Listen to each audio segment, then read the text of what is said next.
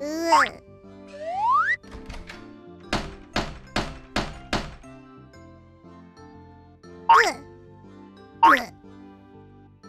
妈咪，我哋真系你亲生噶。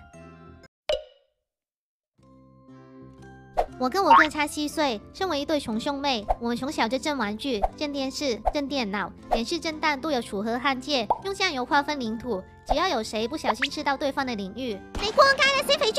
快啲俾我个死界孤寒精！而因为我们个性都很低能，所以常常闹出不同的低能事件。三岁小时候，妈妈会轮流喂我们喝汤，我和我哥在这时都喜欢玩一个低能游戏，那就是喝汤时被对方逗笑就输。所以我在喝汤的时候，轮到我哥喝汤的时候，就这样来来回回好几次之后，最后总是会有一个回合啊，嗯。你哋两只嘢玩够未啊？五岁有一天，我们吃完麦当劳的时候，阿妹，不如我哋用食剩嘅茄汁搽喺个嘴度，跟住瞓喺地下。妈咪翻嚟见到，一定会吓一跳嘅啫。哎呀，条条几掂咁？不过系我阿哥啊，遗传到我啲聪明基因。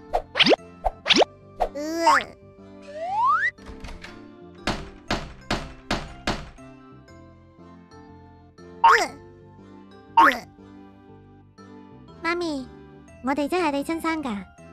十二岁，我和我哥有一个奇特的打招呼方式。每一次看见对方的时候，我们都会用中指打招呼。早上睡醒的时候，我们也会亲切的跟对方打招呼。无论在什么地方，我们还是风雨不改的。持续着我们打招呼的传统，直到有一次示范的时候，我们一如既往的，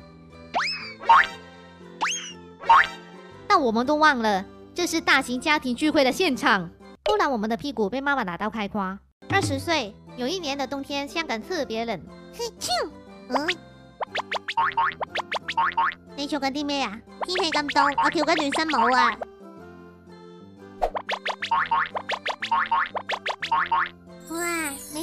哥哥发明的奇怪舞步还挺有用的。二十二岁，这时候我已经有在经营社交平台，每天都在上面 po 照片。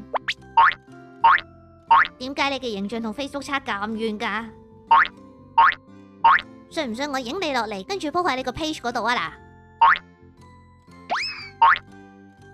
我顶你个！二十三岁，有天深夜，我看见哥哥在厨房。咦，你做紧咩啊？我煮紧公仔面啊！公仔面，而家都几点啦？你成日都食炸嘢不得止，而家仲食埋啲咁唔健康嘅嘢。要唔要食啊？我要一碗呢。因为我哥是夜猫子，所以常常有吃宵夜的习惯。从那天开始，他每一次吃宵夜也会给我一份。哇，系麦当当啊，但好肥喎，一餐半餐冇所谓啦。系烧米啊，听日要减肥啦，一餐半餐冇所谓啦。奇怪啦，点解我最近成日食宵夜嘅？一餐半餐冇所谓啦。因为体重直线上升，让我下定决心，今天他在问我要不要吃宵夜，我一定要严正拒绝。阿妹食唔食宵夜啊？食。呵呵，我是废物，可是好好吃哦。直到我爸来台湾独居以后，我终于戒掉了吃宵夜的习惯。虽然跟哥哥没有住一起了，但我们还是会常常联系。哥，你睇下我煮嘅午餐啊！哇，好靓喎，个碗。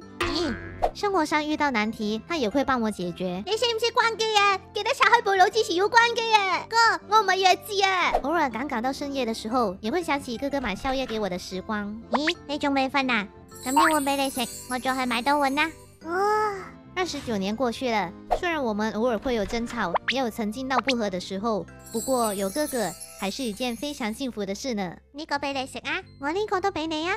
但有时候啊，喂，你破戒啦！点解啲水袋系我噶？收皮啦！你食咁多仲唔够咩？猪，你哋两个唔好再嘈啦！也许兄妹就是这样吵吵闹闹的过一辈子吧。